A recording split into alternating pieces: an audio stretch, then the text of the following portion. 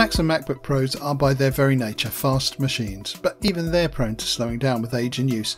There can be a number of exact causes for this, and I've decided it's time to cover the prime suspects here, telling you why your Mac may be slowing down and how to speed it up again.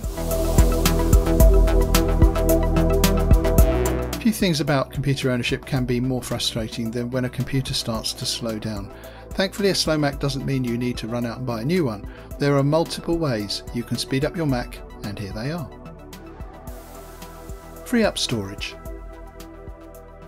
One of the easiest ways to keep things running smoothly with any macOS hardware is to free up storage. The more crowded the SSD, the slower it will run. You can go through a whole tutorial, link in the description, and clean out anything unnecessary, but the easiest step is to optimize storage. Start by heading to the Apple logo in the top left corner, clicking on About this Mac and then Storage. From here you can see how all of your storage is being used. Now click on Manage and start taking back your space. It's in this window that you can optimize storage by removing content you have already viewed on iTunes or Apple TV. Empty your trash or go through and delete large files that you no longer need and get rid of anything you can and free up storage for better, faster performance. Don't forget to clear out your browser caches as well. Disable login items. When you reach a point that your macOS hardware takes longer to boot than it normally does, it's time to disable unnecessary login items. These items can accrue over time and it's easy to forget what you've given permission to run as soon as your computer starts. To see what's running, click on the Apple logo on the top left, System Preferences, and then Users and Groups. Inside this window, click on the tab that says Login Items and see what is checked off. Each of the checked apps starts whenever your Mac is restarted or powered on. The more of these you have enabled, the more likely it is that they are at least part of the reason your computer could be running slowly. Disable apps that you don't use or don't want and take back some much needed memory. Repair disk permissions. With the installation of every app on your Mac, a set of permissions is added that enables access to the program for each user. These permissions can become damaged over the years and cause slowdowns to your Mac without you ever knowing. But fortunately, correcting these permissions is incredibly easy. Go to your Applications folder in your Finder window and locate the Utilities folder. Inside this folder, you will find Disk Utility. Once the app is open, make sure your hard drive is selected on the left hand side and then click on First Aid across the top.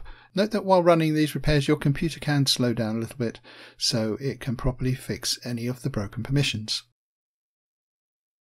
Use Activity Monitor. Activity Monitor is the single best resource for finding absolutely everything that's running on your macOS machine at any given time. Everything from your open applications to behind the scenes operations will be available through this window. If you see apps that are open that are not currently in use, close them and save some memory or RAM. Another big reason to watch this space is to identify apps that are consistently eating up more memory than necessary. For example, Chrome is often considered a memory intensive browser, especially on Mac, and with multiple tabs open, it can quickly slow down even the most powerful computers. If that is a scenario that affects you, look to less resource intensive browsers like Safari, Microsoft Edge, or Brave. Disable visual effects. Another aspect of Mac ownership that can often be overlooked are visual effects. Effects like magnification, animating applications as they open, and automatically hiding the dock can impact overall performance. If you want the absolute fastest performance out of your current hardware, go to the Apple logo, System Preferences, and Dock. Look out for the boxes to uncheck the three aforementioned features. You can always play around to see if just one of these is enabling hardware slowdowns so that you can keep the rest running. You can even disable them all. Either way, this is a minor step that can potentially have some major effect. Restart or update. Obviously, if all else fails, restart your Mac. It's always a good first port of call. It's unquestionably the easiest step on any list for speeding up your Mac and could solve the problem entirely.